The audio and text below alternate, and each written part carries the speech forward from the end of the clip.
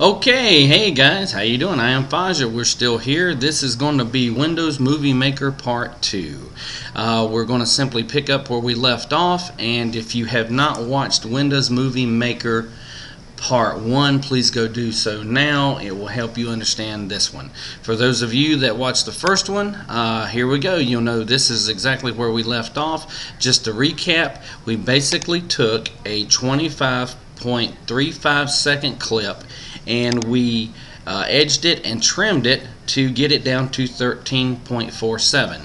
Okay, so that's one little uh, way, uh, one little section of the clip, and uh, since you you're going to have more than one clip in your um, in your um, your video montage that you're doing or uh, your game battles capture footage or your MLG capture footage or whatever it is that you're putting up, uh, we need to go ahead and bring in our second clip. So again, we're going to go up here to uh, import media and uh, we're going to go to clip 2 of high rise snipe and clip import. So here we go.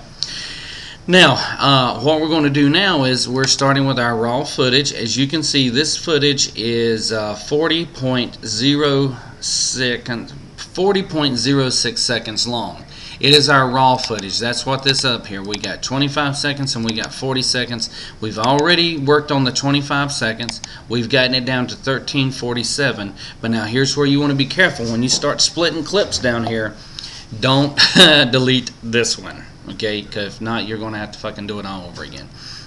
Alright, so we're going to go ahead and drag our media down here to this slot and we're going to let it seep in and we're just going to go up here to the preview window and we're going to um, start to take a look at it. Now note that you are now on your storyboard. So this clip time starts at 13.5 and ends at 53.53 and you're like whoa what the fuck up here it says 0 to 40 that's because this is your storyboard the um, this uh, um, clip down here occupies the first 13 or 14 seconds of this video. So we're going to click on this. We're going to use our marker scrubber to run backwards and forth through it real fast. Um, so let's just go ahead and hit play. And we're going to go in here and we're going to look at what we want to see and what we want to get. Remember, you do this to take scenes out of you being dead. Um, or your buddy plan that you don't want people to see on your montage. And so we're approaching some good footage. Okay, here we got Beast running out, and boom, did he get the shot? Yes, okay, he got the shot. Now remember the three second rule.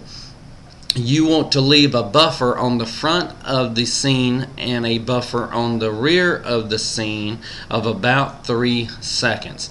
Because your transitions that we're going to look at in this video hopefully will eat up footage okay? In other words if you if you if I simply cut this clip right here you would never be able to see the shot because the transition would cover it up. Transitions are are uh, piece are effects that you put between two clips that uh, uh, sort of changes the storyline keeps them from running together so what we're going to do is we're going to notice our timeline right here is at 34.0 seconds. So I know there's about a second on there. So I'm going to ease this thing back till you got the shot. Now we're at 33.3.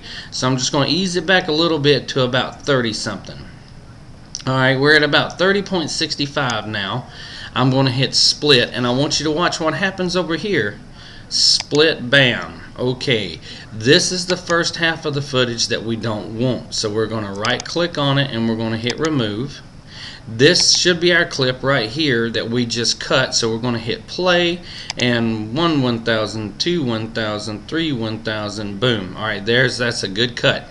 So we're going to let this run through till we get the shot. And for those of you watching, this is I'm a Beast Dude. This is my son. This is not me. Uh, we're going to come in here. Okay, he almost got that one. Alright, and then he died. Alright, so what we're going to do is we're going to scrub this back here just a little bit. Alright, he's right here. Let's just take it back to about right here. Okay, and we're going to go, if you'll notice our timeline, we're at uh, 30.51 of 36 seconds. So we're just going to move it up to about hmm, 33 take it up to about 33 right there so you can see the, the kill. And then we're going to stop it and we're going to split it. And now, be careful. Don't edit the wrong thing or remove the wrong thing. This clip right here starts with that and it shows him going over here and being killed. That's not what we want. So we're going to right click and we're going to hit remove.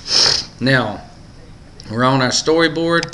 So we've got uh, 33 seconds and 33.27 seconds of video and that is comprised of this clip starting at 13.5 and running to 33.27 and this one starting at 0 and running to the 13 mark. You can see it right down here. Watch in this area the little hover box. See how it pops up? High rise clip 1 through 3 sniping a row duration 13 minutes 47 seconds.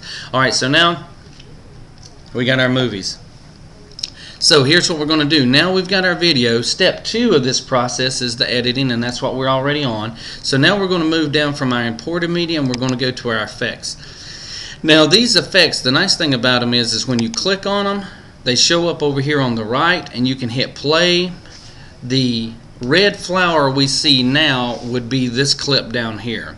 The yellow flower that's going to appear would be this clip right here, and this shows what it does.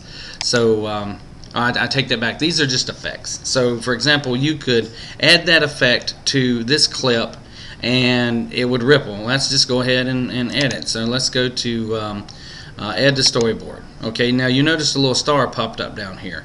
Uh, there's no star over here. Well, there's one here, but it's not highlighted. If you click on the ripple, it will tell you everything, the effects that you have on that. So let's just go ahead and click on this and hit play.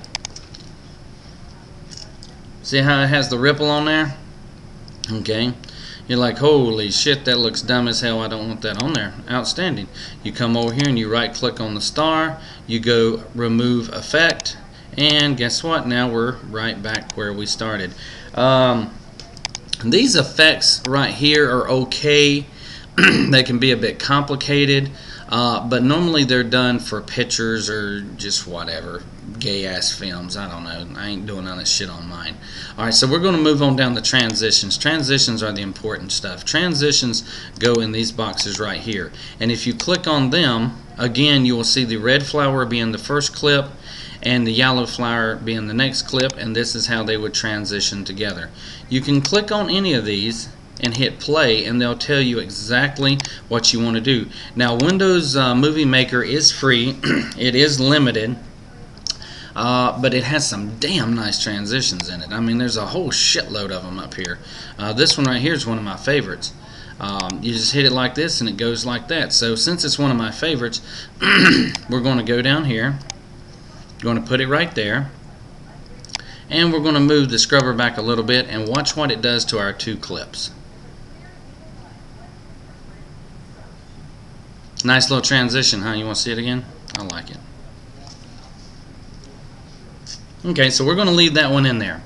Okay, we're at eight and a half minutes now, so what we're going to do now is we're going to go ahead and jump off here and we're going to create uh, editing with Windows Movie Maker Part 3 and that's where we will add the titles to this video and actually create it.